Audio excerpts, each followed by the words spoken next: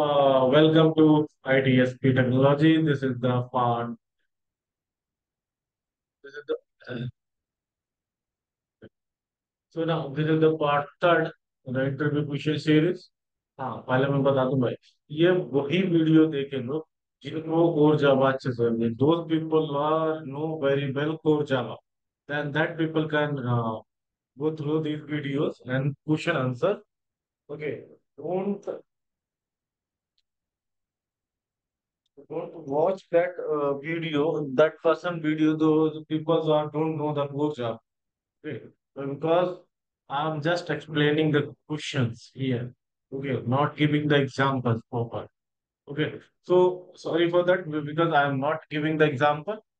Uh, so please don't mind it. And those people will know the core then you can go through that. Okay, you can put the speed of 2x, 3x, whatever you want. You can just put it and see the answers, questions, give the answer. That's it. Okay. Now let's start. Topic. So now first question is our related to overriding. Today's topic overriding and overloading. Okay. So how will you implement method overloading in Java? Okay. In Java, answer is in Java, a class have a multiple method with the same name but the different argument. It is called a method overloading.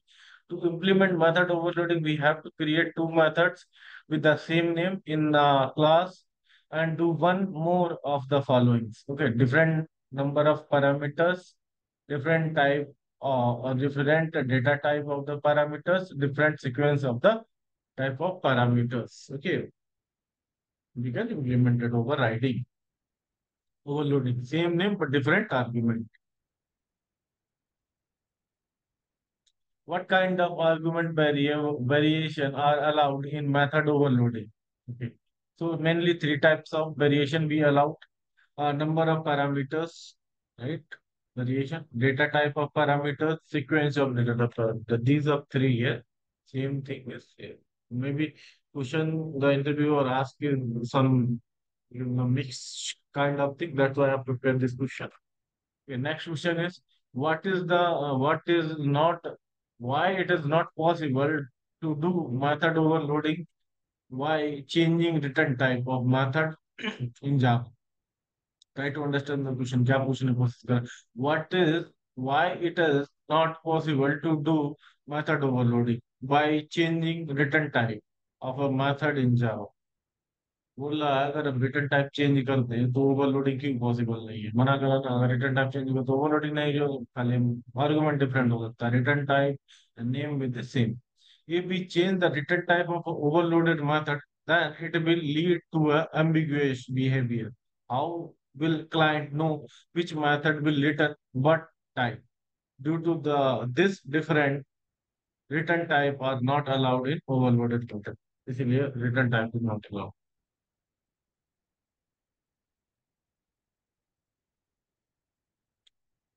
Is it allowed to overload main method in Java? Yes. Java allows user to create many method with the same name, with the same name like main, but only public static void main uh, method is used for execution. How do we implement method overloading in Java? To overriding, overriding, sorry, not overload, overriding to overriding a method, we just provide a new implementation of a method with same name in subclass. So there will be at least two, implementation of the methods with the same name. Once implementation is in parent class and another implementation in the child class. Same method name same, return type is same, argument same. Are we allowed to override static method in Java? No. Java class not allow overriding a static method. If you if you create a, a static method with same name in subclass, then it is a new method, not overridden. Why Java does not allow overriding a static method? Next question. पूछेगा ना भाई तुम नहीं है तुम्हें बताते नहीं कर सकते next why Java does not support, does not allow to overriding a static method. To override the overridden uh, method, you need an instance of a class. Static method is not associated with any instance of the class. So the concept of overriding does not apply here. Therefore, Java does not allow overriding static. method. Overriding a method, you need to instance of a class. You need a instance of a class. Static method is not associated with any instance. Static methods are not associated with any instance, with an individual thing. Is it allowed to override? It is allowed to override an overloaded method. Yes, you can override an overloaded method in Java. What is the different difference between method overloading and method overriding in Java? Difference between method overloading and method overriding are that method overloading is a static polymorphism. A static polymorphism, we can say the last question series, and the method overriding is the runtime polymorphism. Method overloading occurs within the same class. Method overriding happen in two class with the hierarchical relationship. Parameters must be different in method overloading. Parameter must be same in method overriding.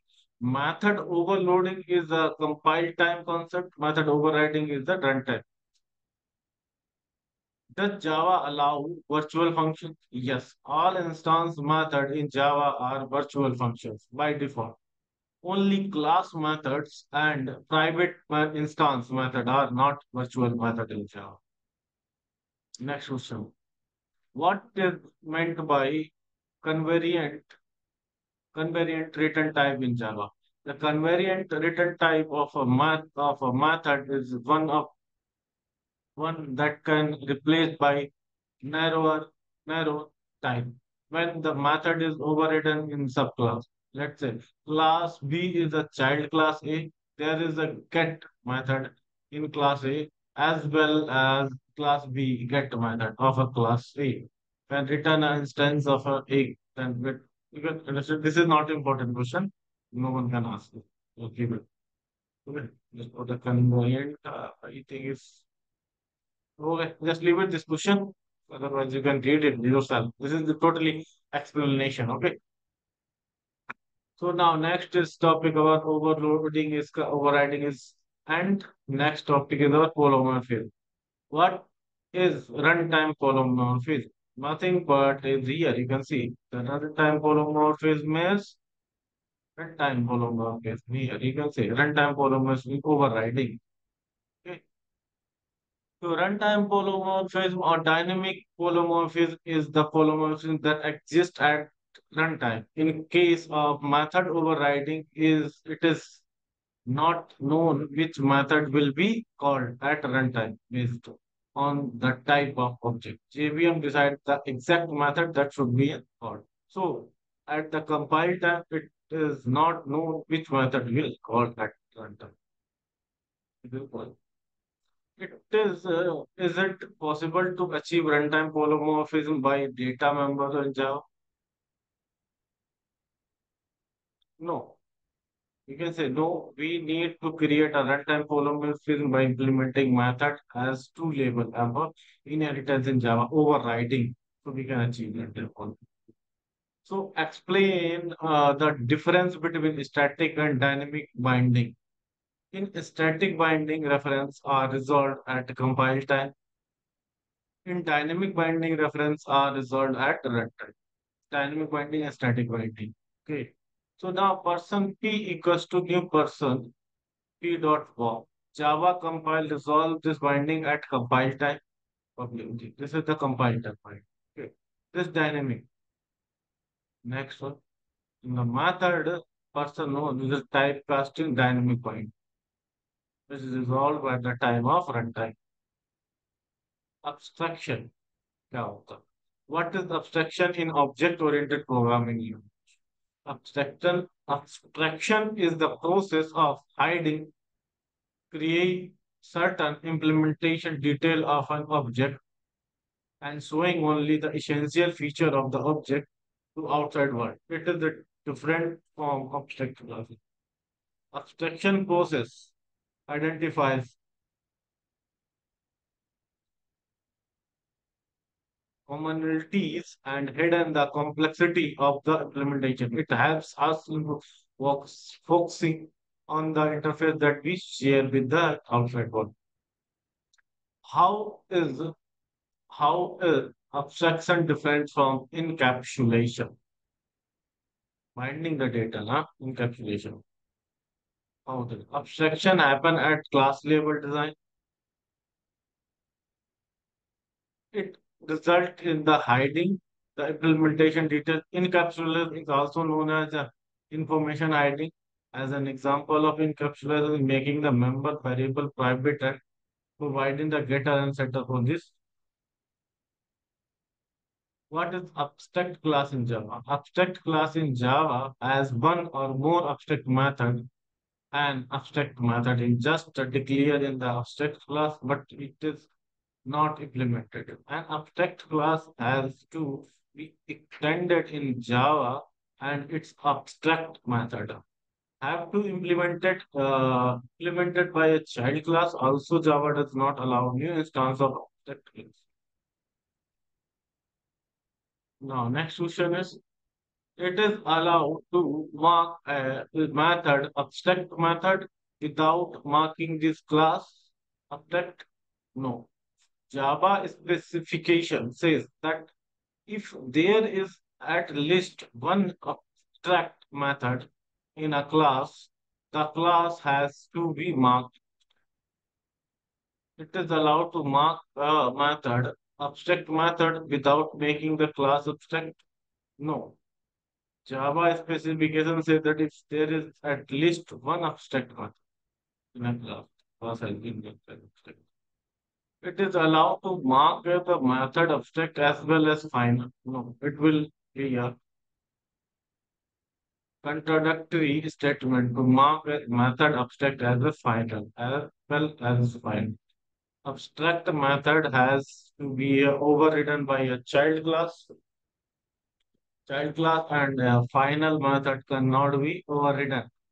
Cannot be overridden. Therefore, the method can be either abstract or final in Java. Can we instantiated an abstract class in Java no, we cannot create instance of an abstract class in Java.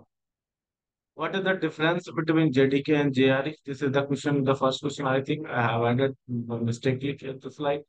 Okay, so now cannot be, this question is the important, guys. It is allowed, it is allowed to mark a method object as well as final. No, it will not contradictory statement. Can we instantiate an abstract class in Java we cannot create an instance of state class in Java. Yeah, it is allowed to mark method abstract method without making the class abstract. From Java specific can say that there is at least one object. Then you can say, then you can mark that method the object. So this is total third session is completed. Now, now we will meet in the next session. Okay, thank you.